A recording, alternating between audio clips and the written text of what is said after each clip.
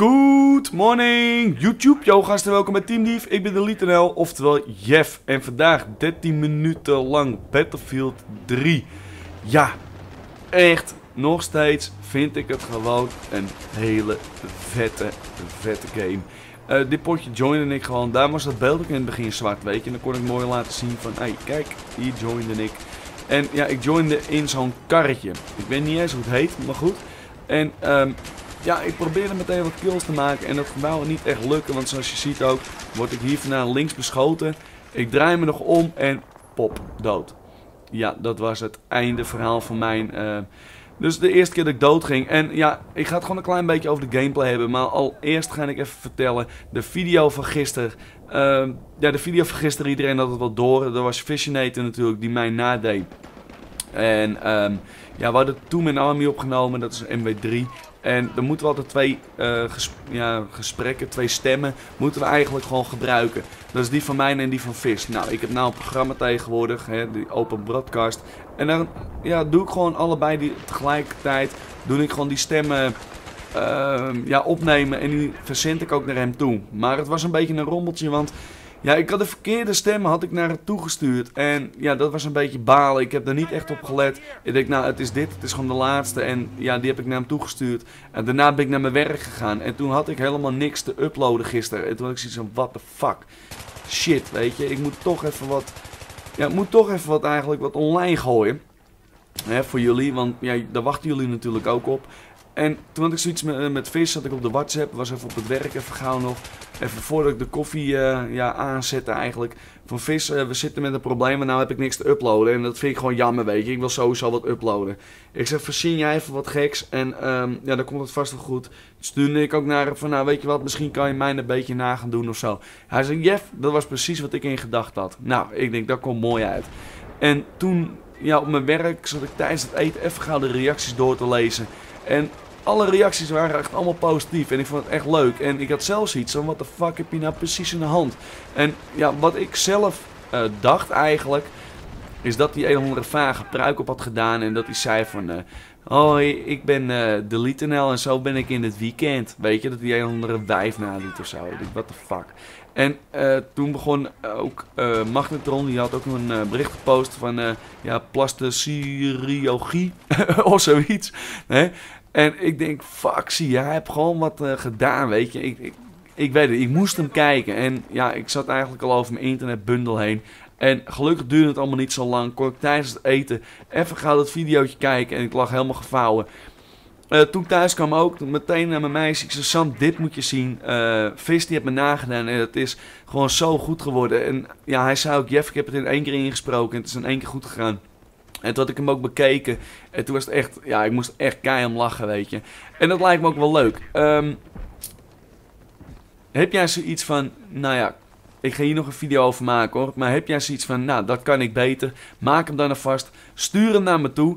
Um, je hebt niet eens een channel nodig, weet je. Dat wel, nee kan je gewoon opnemen, een facecam opnemen. Dat is natuurlijk heel simpel. Want dat kan je tegenwoordig ook al met je mobiel. Dan vraag gewoon even aan je moeder van... Mam, hou jij die mobiel eens vast. Je doet een of andere headset op of je doet even wat geks. En dan uh, ja, ga jij eens even kijken hoe goed jij mij na kan doen. En dan maak ik daar gewoon een uh, hele reeks van. Zet ik gewoon die video's achter elkaar en dan zal ik dat zeker gaan uploaden. Dus heb jij zoiets van, Jeff... Um, ik kan jou goed nadoen. Hè, good morning, YouTube. Uh, yo gasten, welkom bij Team Dief. Ik ben Delete Oftewel Jeff en bla bla bla. Nou, dan maak je er even een leuk verhaaltje van. Nou, hoeft niet 10 minuten te duren. Weet je, je kan het beter 3 minuten goed doen dan 10 minuten dat ik denk van, nou oké, weet je. Pak gewoon je mobiel. Zet gewoon een of andere koptelefoontje op of weet ik veel wat. Doe gewoon een beetje, ja, of dat je mijn bent. Uh, voor mijn apart, uh, weet ik veel, verzin wat. Laat je fantasie gaan en dat lijkt me gewoon heel erg leuk. Ik zal ook nog even een videootje maken. En ja, als je deze hebt gezien, kan hem nu alvast naar me toesturen. Van de week zal ik ook een videootje maken daarover. Van uh, als jij het goed kan of denkt goed te kunnen. Of dat je zegt van nou, dat lijkt me wel leuk. Dan um, ja, kan je hem gewoon opsturen.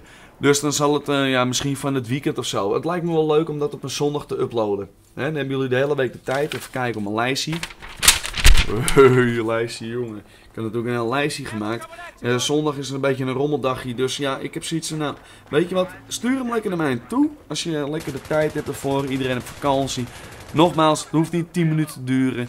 3 minuten, 5 minuten is ook goed. Uh, een minuutje is ook goed. Als je maar gewoon denkt van nou, dit is het. En uh, misschien zet ik daar even een leuke prijs tegenover of zo. Misschien een dueltje met mij of zo. Weet ik veel. We komen er wel, ja, we komen er wel uit. Weet je, dat lijkt me wel heel erg leuk. Goed, nou gaan we terugkeren naar de gameplay. Um, ja, ik ga het gewoon een klein beetje over de gameplay hebben. Ik ben een beetje op zoek naar uh, ja, de wapens waarmee ik het beste kan spelen. En ik heb nou ook uh, gewoon een paar wapens uitgeprobeerd. Ook in deze game ook weer. Gewoon weer een paar wapens. En dit is op zich ook wel een heel lekker wapen. Ik weet mijn god ook niet hoe die heet. Jeff, je bent al geprestiged. Ja, klopt wel. Maar weet je wat het is? Deze game heb ik echt helemaal in het begin, uh, toen hij uitkwam, toen heb ik hem gespeeld. En daarna eigenlijk niet meer. En sinds de laatste tijd uh, ja, ben ik hem eigenlijk weer een beetje gaan spelen. En ja, ik vind hem eigenlijk vet, vet cool, weet je. Vet leuk ook gewoon. En um, ja, het is een beetje een testfase nog voor mij. Hoop mensen hoor ik ook lopen. Deze gast ook hier naast me, weet je. Die hoorde ik aankomen lopen. Maar ja, doordat die uh, minimap normaal gesproken linksbovenin staat, staat hij nou links onderin. En ja, dat is een beetje naadje, omdat je dat gewoon gewend bent dat hij altijd linksbovenin staat. Dus dan moet je even, dan kijk je naar boven en oh kut, is beneden. Weet je wel, het is echt uh, ja, gewoon wennen. En wat ik in deze gameplay ook, gameplay ook probeer te doen, is gewoon volledig voor de caps gaan. Dit is een beetje uh, ja, de close quarters, weet je. Dit is echt full uh, Russie en... Uh, ja, de bedoeling is natuurlijk om uh, zoveel mogelijk caps binnen te halen. Want zo kun je die punten halen. Ook zie je zo direct dat ik een paar keer dood ga of mijn teammaten gaan dood. Hier gooi ik een kistje.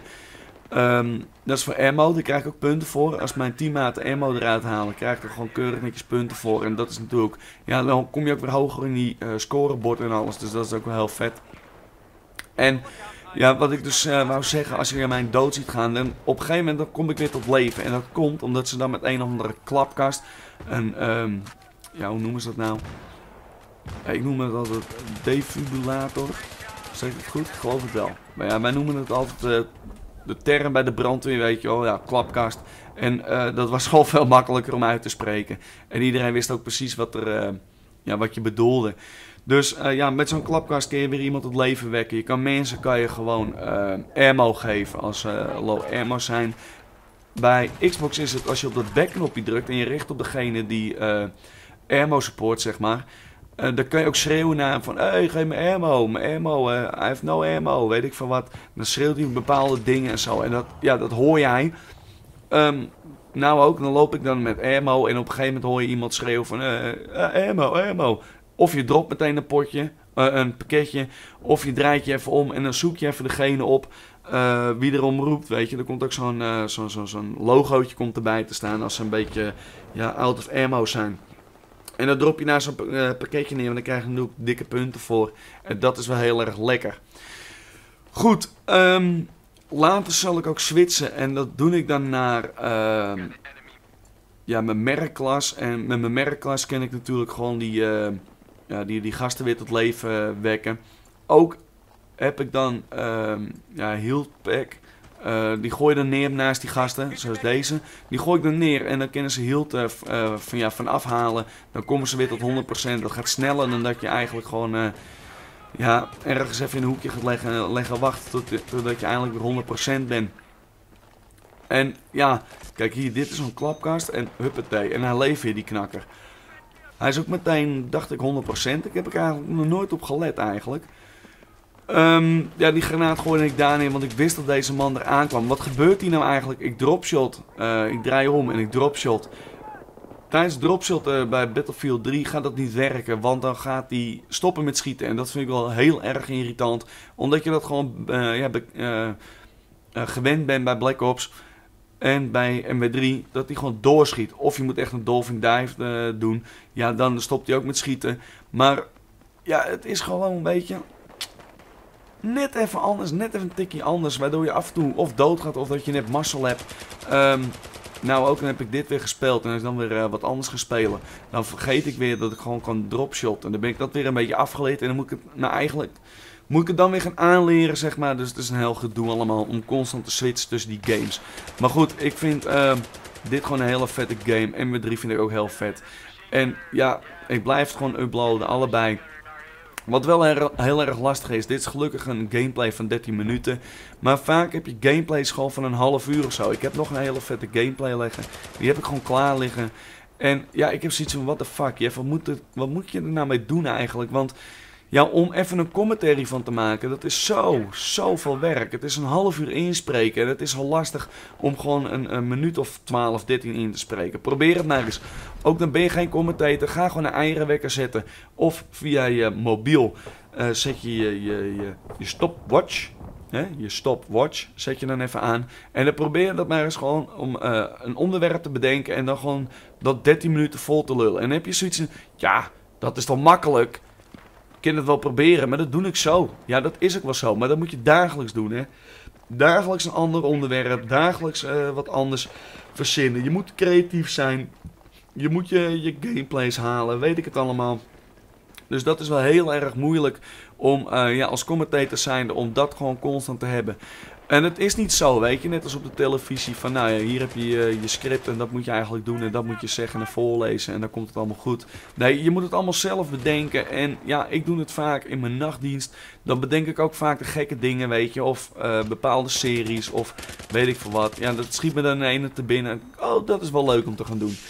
Um, zoals vandaag ook natuurlijk hebben we die, uh, die video van Vis, ik bedoel van gisteren.